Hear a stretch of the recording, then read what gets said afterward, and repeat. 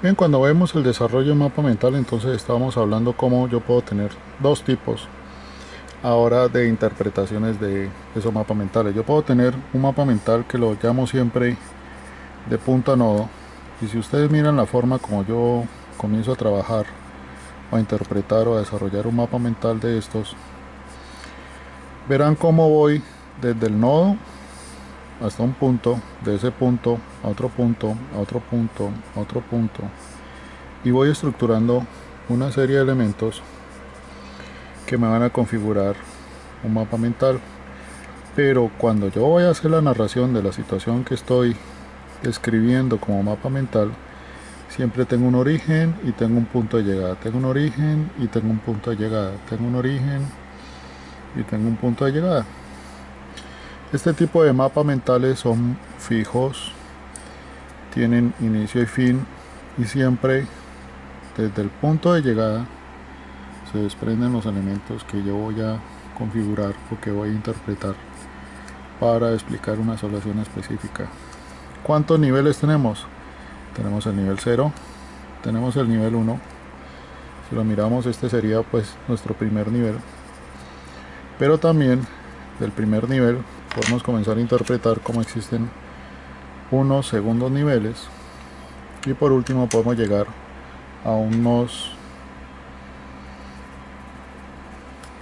terceros niveles. Y estos terceros niveles son los que nos van a llevar posiblemente a cuartos y quintos. Pero lo importante es que nosotros sepamos que cuando yo interpreto o desarrollo un mapa mental yo puedo llegar a decir que puedo llegar a estructurar un nivel 0, 1, 2, 3, 4, 5, 6, de 6 niveles 1 y puedo llegar a tener de a 3 niveles 2 y puedo llegar a tener de 2, 4, 6, 8 niveles 3 y esta sería la notación para yo poder decir, bueno, yo necesito un mapa mental que me estructure este tipo de realidad por niveles. Niveles, ni rangos. Nivel 1, nivel 2, nivel 3 y yo puedo pensar de manera radial cómo lo voy estableciendo. Eh, ¿Cuándo se recomienda o yo cómo recomendaría o para qué recomendaría entonces este tipo de mapa cuando usted tiene muy claro asociaciones, pero de nuevo, muy claras asociaciones donde usted puede llegar a decir de esta situación se desprende esta otra connotación, pero de esta situación se desprenden estas tres interpretaciones y de cada una de estas se pueden desprender más interpretaciones. Se pueden quedar fijas, por ejemplo en este caso de A3 se busca intencionalmente tres niveles, como yo también puedo llegar a decir de este nivel se desprende otro nivel un nivel 1, pero un nivel 2 ya puedo tener 4 o 5 interpretaciones y de cada una se desprenderán las interpretaciones o los nodos necesarios para poder establecer el tipo de explicación. Esta es la forma como yo voy ramificando y miren ustedes que puedo tener mapas mentales con diferentes ramificaciones y ramificaciones que son estandarizadas o ramificaciones también que se van abriendo dependiendo del rango de complejidad que yo vaya a establecer. Lo importante es poder analizar un problema teniendo en cuenta que a medida que yo me expanda hacia los bordes, lo que estoy haciendo es un efecto de abanico porque el rango de información entre más amplio se encuentre significa que voy a tener un rango de información con muchísimo más alcance de la misma y entre más alcance y más densidad de nodos voy a tener una posibilidad de mayor profundización en la información que estoy trabajando. De manera que tenemos aquí un tipo de mapa mental eh, donde desarrollo punto nodo, punto nodo, punto nodo, punto nodo. Tiene inicio y fin y de esa manera yo puedo establecer un mapa mental coordinado. La segunda forma, como yo puedo establecer el mapa mental, tenemos un nodo pero resulta que la primera característica con la que yo me encuentro es que no hay líneas rectas. Y eso puede sonar pues, muy simple. pero la verdad es de bastante impacto. El no tener línea recta, que el cerebro mismo, la expresión gráfica que uno está utilizando, pues claro, está utilizando el mismo cerebro. El cerebro va interpretando que ya no hay unas linealidades como vimos en el anterior. Punto nodo línea recta. Y tengo solamente en, en los últimos niveles en los nodos que se pueden expandir los elementos. Mientras tanto aquí tengo mapa mental que no tengo líneas rectas pero cuando comienzo a estructurar la narración que me va a explicar el mapa mental puedo llegar a tener dos tipos de interpretaciones. Uno yo puedo llegar a tener descriptores o subnodos o elementos que configuran los nodos que surgen desde el punto final de un elemento, pero resulta que contextualmente para llegar a esos puntos finales yo puedo tener circunstancias que me van a explicar o elementos que me van a explicar y que van a acompañar estas condiciones nodales que están aquí por ejemplo. Entonces termino yo en un brazo principal. Pero resulta que ese brazo principal no está solo. Ese brazo principal se va abriendo con estructuras que se van convirtiendo en el contexto que me van a dar explicaciones a otras circunstancias. Y a través esos mismos contextos se pueden abrir en otros más los puntos nodales finales me puedan explicaciones de situaciones al final pero normalmente yo ya tengo un elemento nuevo en este tipo de mapa mental.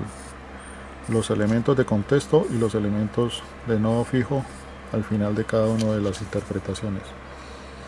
Y miren cómo si yo ya abro un rango de densidad la densidad aquí todavía es muchísimo mayor. Y muchísimo mayor en la densidad significa una capacidad de estructurar información muchísimo más fuerte. Esa es la primera diferencia entre yo hacer un mapa mental punto nodo, punto nodo, punto nodo, líneas rectas muy fijas, muy seguras, muy claras entre los elementos que se van a interpretar de cada uno y el otro que donde yo tengo elementos donde no hay el componente fijo pero esos componentes yo puedo darles explicaciones a través de no solamente elementos que se van a desprender del fijo, sino elementos que van a ser de contexto y a través de contextos de contexto. Miren cómo yo saco de aquí una explicación de contexto que me va a permitir dar explicación a este nodo, pero también esos contextos a su vez pueden tener explicaciones y más explicaciones en términos de condiciones que me van a permitir entender cómo puede ocurrir informaciones contextuales que al final miren toda esta ramificación que es de puro contexto termina impactando sobre este elemento que fue uno de los elementos del brazo principal que yo tenía que analizar por ejemplo. Y todo este brazo que tenemos a este lado es un lado de contexto. Esta es la diferencia principal de los tipos de mapas mentales que podemos trabajar. Cuando se convierten cuando se convierte en un mapa mental sistémico? Cuando yo tengo punto nodo y estoy analizando un problema, pero los problemas no llegan solamente con un nodo de análisis o un punto de análisis específico, no. Llegan con muchos puntos de análisis específicos o varios puntos de análisis específicos y no solamente varios, sino que puedo tener dos, tres nodos principales que me expliquen un problema. Estos problemas, o por ejemplo esta explicación que estoy dando nodal, en este punto, yo tengo aquí explicado un problema con punto nodo. Tengo dos nodos principales sobre los cuales he establecido el problema. Pero la interpretación, cuando aparece un mapa mental con el apellido o el apellido que yo quiero analizar o que quiero abordar con el componente sistémico o quiero darle el apellido la palabra sistémico a lo que estoy trabajando como el componente principal para poder abordar la condición.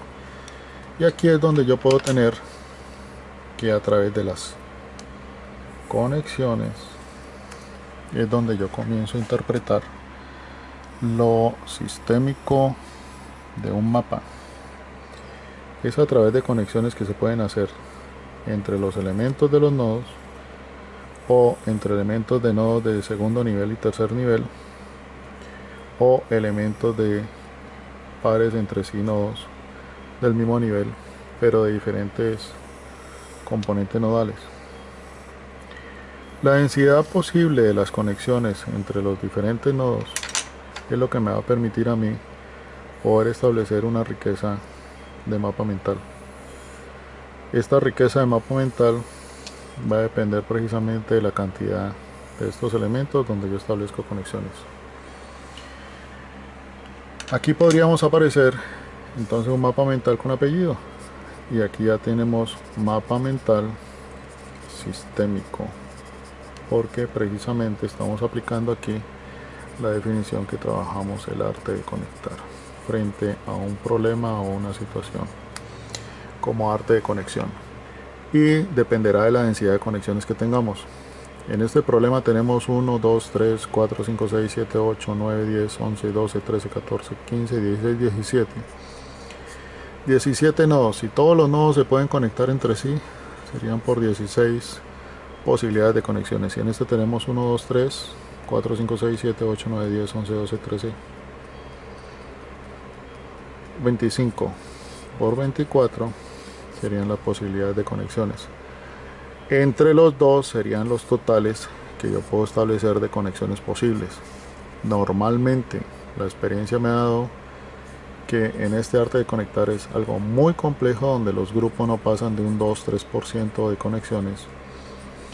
Y lo dejo a título de reflexión, cómo es posible que nosotros podamos vivir solamente con el 2 o 3% de conexiones frente a los problemas que podamos estar observando. Bien, ahora veamos en un mapa mental 9 nodo en un mapa mental neuronal lo defino o lo llamo de esa manera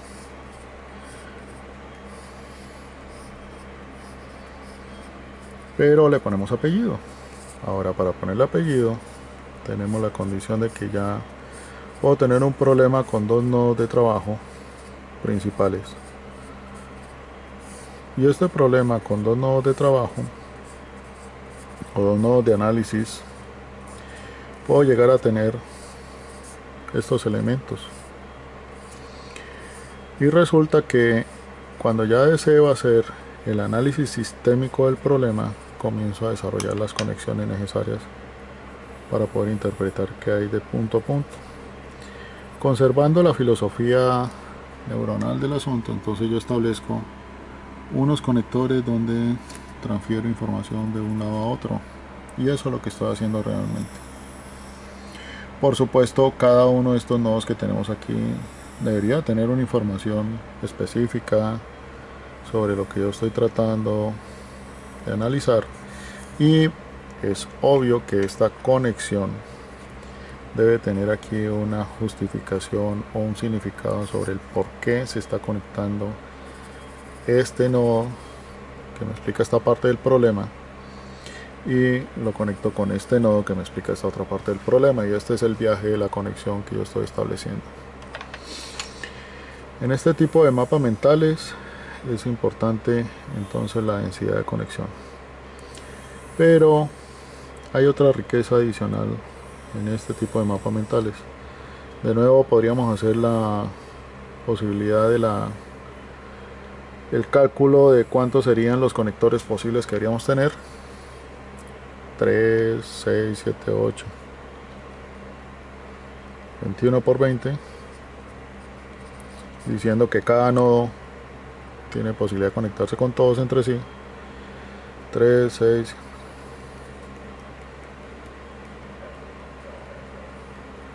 ...30... ...30 por 29... ...la suma de estos dos elementos... ...o la suma total de las conexiones... ...o el universo de conexiones... ...es lo que me permite a mí poder decir si tengo densidad de conexiones.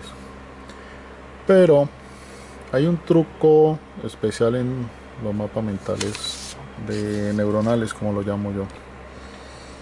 En los mapas mentales neuronales, cuando yo estoy estableciendo la narración, la narración es iconográfica. ¿Qué quiero decir con esto? Que a medida que usted va haciendo la narración, usted tiene que ir pintando una serie de elementos que corresponden a la misma narración que está haciendo.